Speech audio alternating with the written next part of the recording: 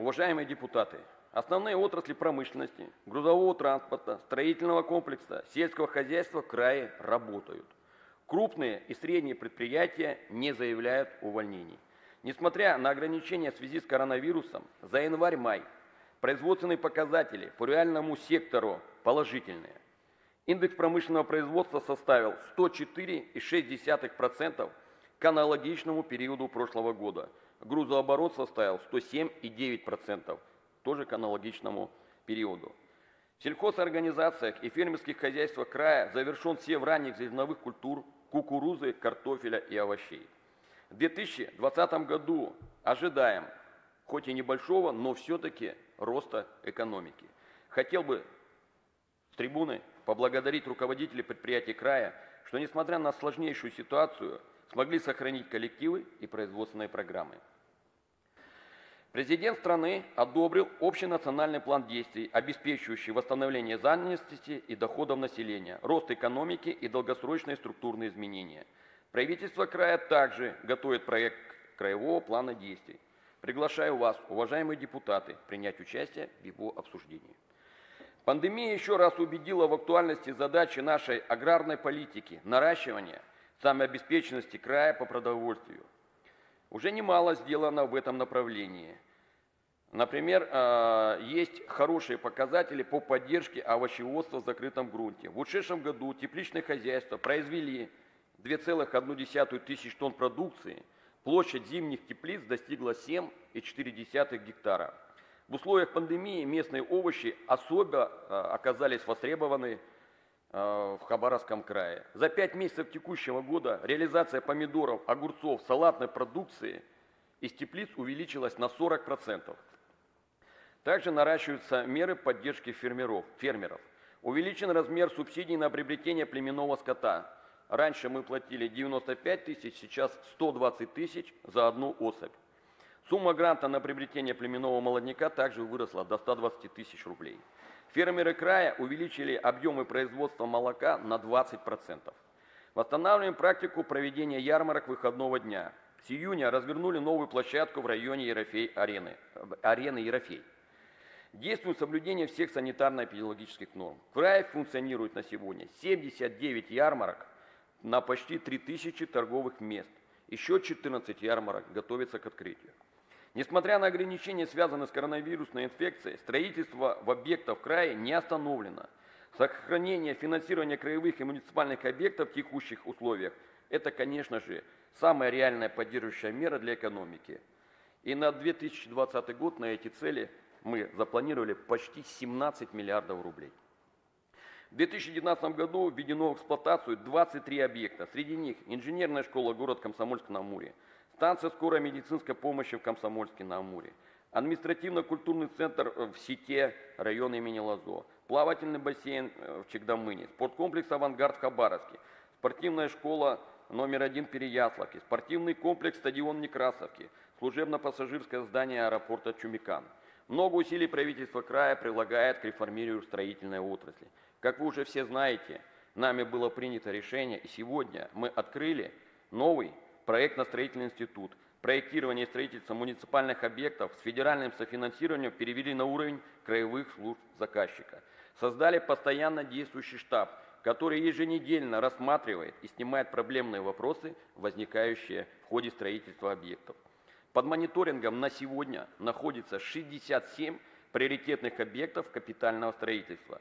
Задача 2020 года – ввести в эксплуатацию новый 31 объект. Среди них как я уже до этого говорил, школа в микрорайоне Волочаевский городок, школа, школа в Нахине, детский сад в Горовке-2 Хабаровского района, дворец единобор Самбо, физкультурно-оздоровительный комплекс Вяземский. До конца года будет завершена строительная часть противотуберкулезного диспансера и региональный центр спорта в Комсомольске на Амуре, третий этап. Особая задача этого года – завершить реконструкцию улично-дорожной сети города Комсомольска-на-Амуре. Это касается прежде всего двух улиц – Лазо и Комсомольское шоссе. Я, конечно же, понимаю возмущение жителей э, города Комсомольска-на-Амуре э, в связи с многолетней э, этой проблемой. Но хочу сказать, что мы провели смену подрядчика, усилили контроль за производством работ в ежедневном режиме. И сегодня заверяю жителей Комсомольска на Амуре, что эти объекты в этом году мы введем в эксплуатацию. В 2019 году в Хабаровском крае стартовал национальный проект «Безопасные и качественные автомобильные дороги». Он развернут на территории Хабаровского и Комсомольских городских агломераций. В прошлом году были приведены в нормативное состояние почти 200, а точнее 199,7 километров автомобильных дорог Хабаровской комсомольской агломерации. В 2020 году планируем привести в нормативное состояние 100 объектов дорожного хозяйства общей протяженностью 154 километра. Всего направлено на эти цели 3,1 миллиарда рублей, в том числе средств федерального бюджета 1,1 миллиарда рублей. Контракты заключены, уже введено 11 объектов, ведутся работы на 59 объектах дорожного хозяйства. Стараемся поддерживать качество управления по национальному проекту «Безопасные и качественные автомобильные дороги» во всероссийском масштабе. Хабаровский край вошел в десятку регионов по выполнению работ по БКД. Я имею в виду в десятку лучших. Особое внимание уделяем сельским дорогам. Хабаровскому району удалось осуществить и расширить географию проведения нормативного состояния дорог в муниципалитетах. Работы проведены в селах Бычиха и Казакевича, Корсаковском, Осиново-Реченском, Мичуринском, Мирнинском, Восточном, Сергеевском, Галкинском, Дружбинских, сельских и Корфовских городских поселениях. Конечно же, э, что касается дорог, проблем еще очень-очень много. И впереди нам предстоит э, действительно тяжелая и насыщенная работа. Но, как э, принято говорить, дорогу осилит идущий.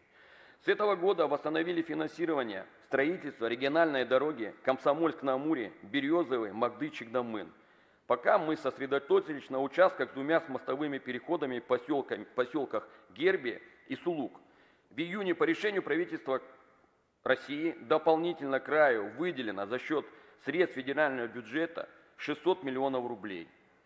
Всего программа на этот год по строительству мостов и этих участков 800 миллионов рублей – это решение позволит перевести эксплуатацию дороги на круглогодичное движение транспорта. Мы все сегодня знаем та проблема, которая существует по сообщению с Щегдамыном.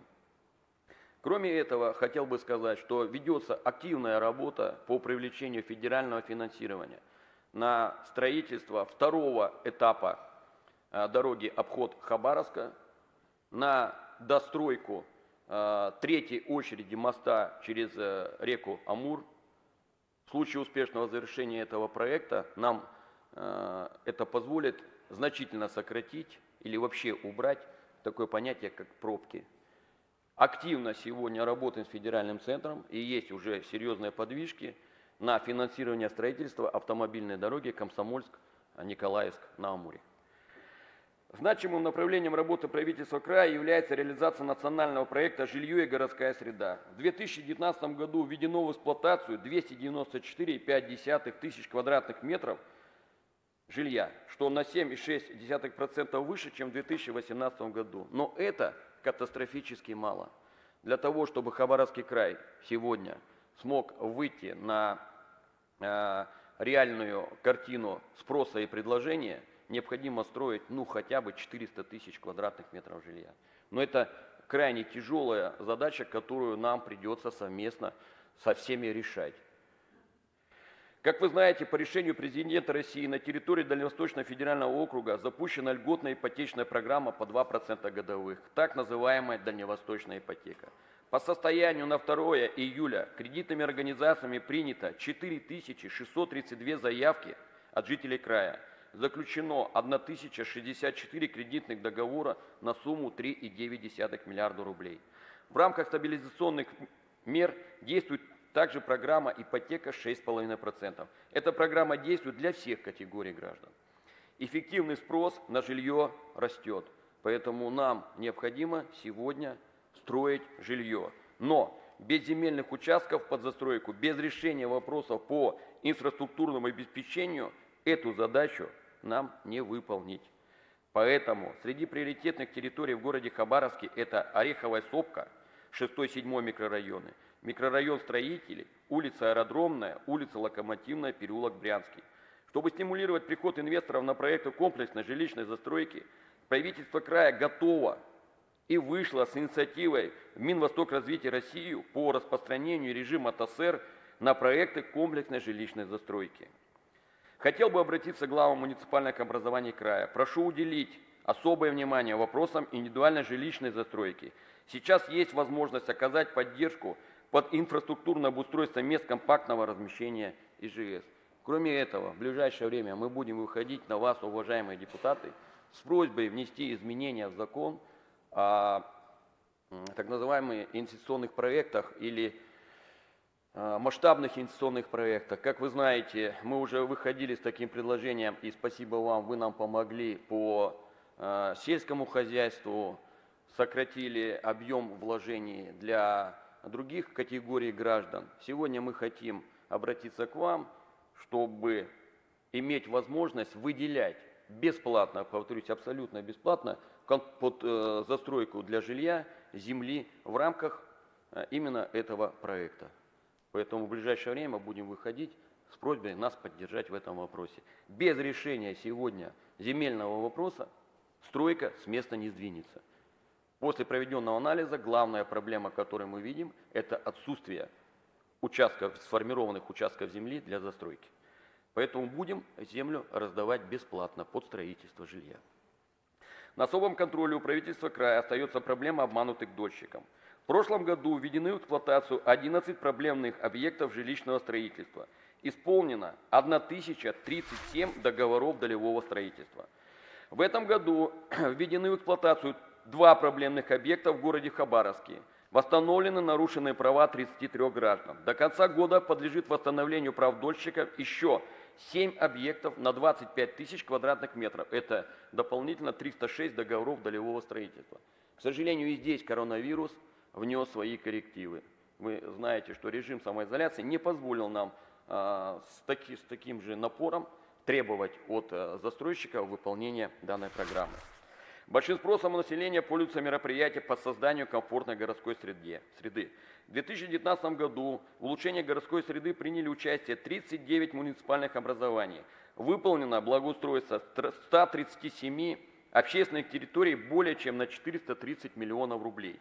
По итогам 2019 года Хабаровский край по индексу качества городской среды получил 164 балла, при среднем значении на Дальнем Востоке 151 балл. В 2020 году число участников выросло 54 муниципалитета на, на нашей территории. Э, на них планируется благоустроить 118 общественных пространств. Уже завершены работы на 17 территориях. Уважаемые депутаты, прошлом году в отчетном докладе я особое внимание уделял проблемным вопросам жизнеобеспечения, транспортной доступности муниципальных районов, прежде всего северных или удаленных территорий. Северный завод, скажу откровенно, еще остается в правительстве Хабаровского края под э, знаком проблема номер один. Нам пришлось кардинально менять подходы, кардинально менять механизмы оплаты. Сейчас доставка угля и жидкого топлива в северные районы края налажена. В этом году поставка осуществляется с опережением графиков. Поставщикам отгружено 100% каменного угля. Поставка дистоплива также идет с опережением. При этом хочу отметить, что в результате наведения порядка в учете и сохранности топлива, реформы оплаты северного завоза, расходы бюджета на централизованный завоз в северные и удаленные районы Хабаровского края снижен на 320 миллионов рублей. Могу сказать для сравнения, что стоимость одного ФАПа составляет 30-32 миллиона. То есть фактически мы сэкономили на 10 новых ФАПов. Дополнительную эффективность мы получили, дополнительную эффективность мы получим после реализации программы строительства новых котельных.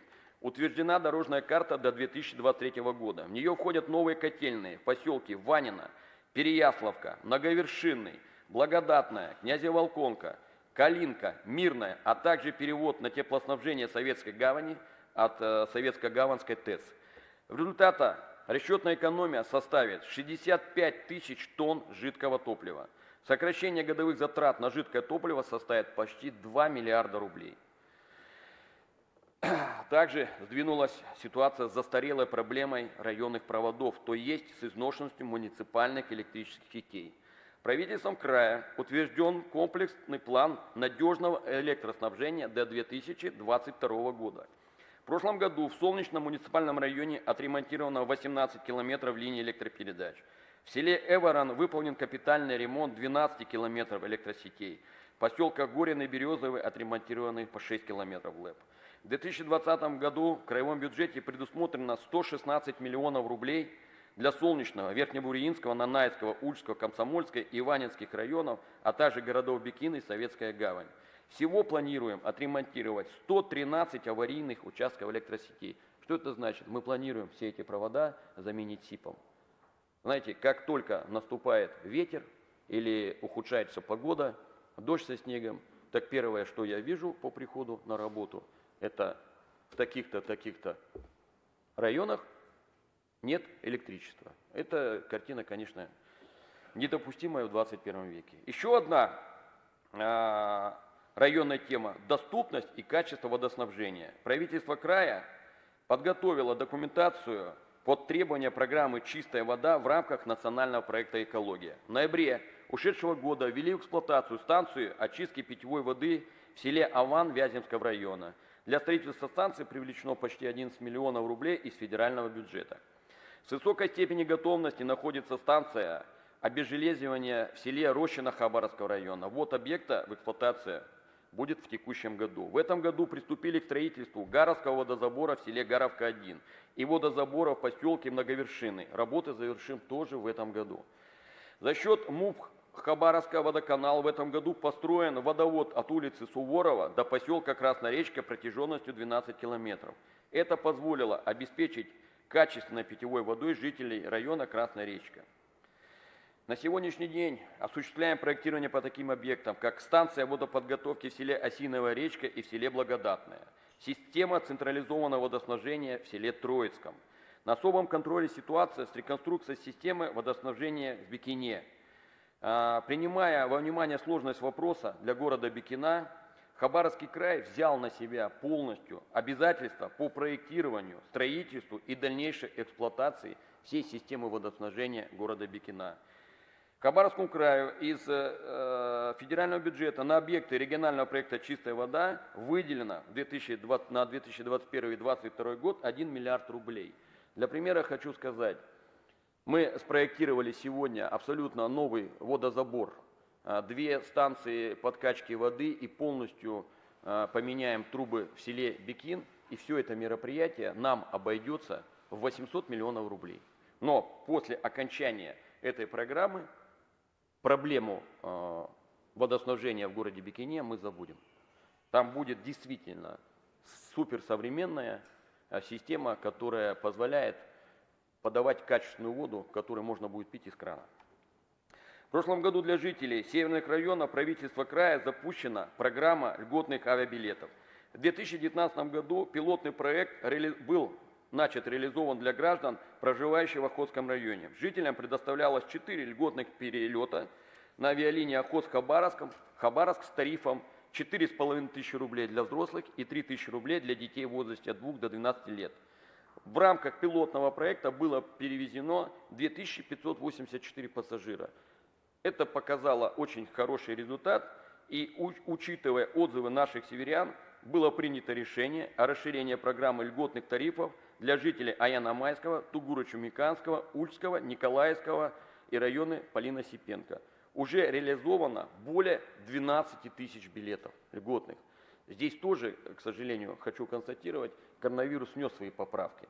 И мы бы еще больше э, перевезли пассажиров, но, вы знаете, был режим самоизоляции.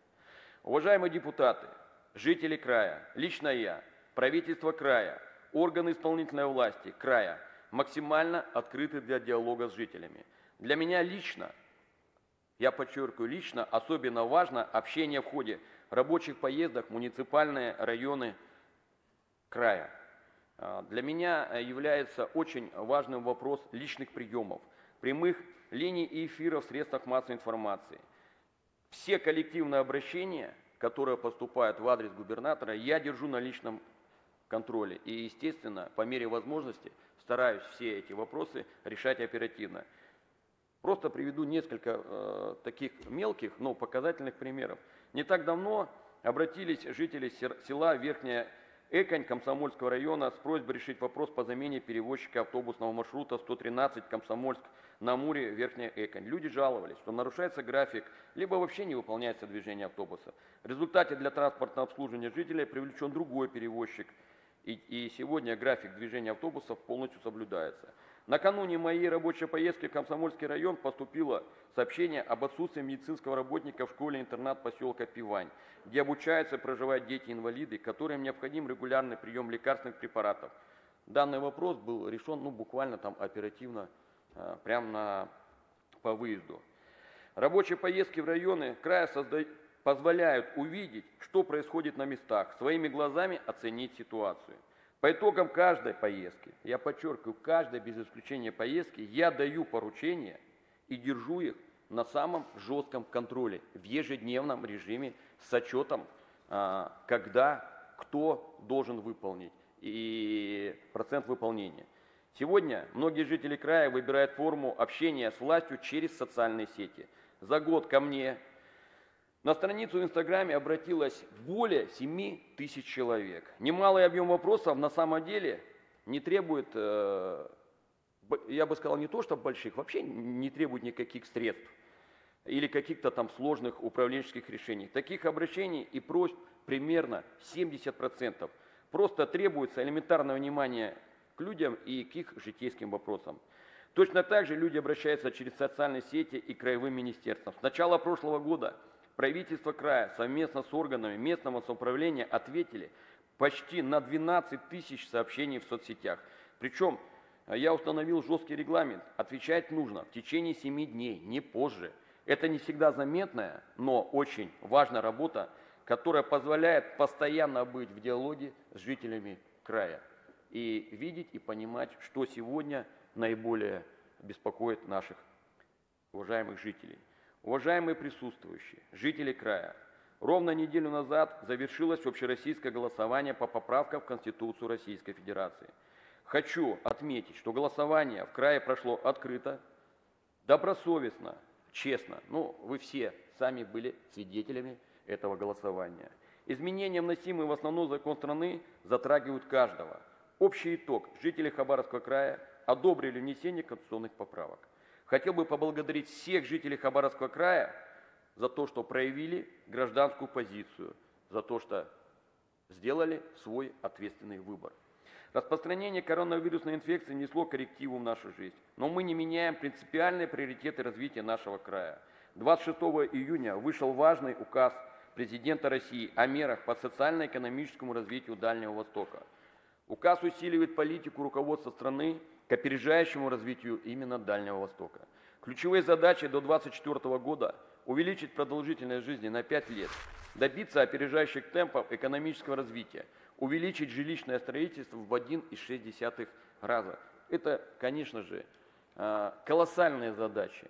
А, вроде три предложения, но эти все три предложения влекут за собой огромнейший комплекс мер и напряженный труд всех и правительства края, и Думы, и всех жителей нашего края. Основным механизмом реализации должны выступить национальная программа социально-экономического развития Дальнего Востока. Нет ни у кого, ни у правительства, ни у губернатора, да и у вас нет никаких сомнений, что Хабаровский край – это ведущий регион в решении задач национальной программы.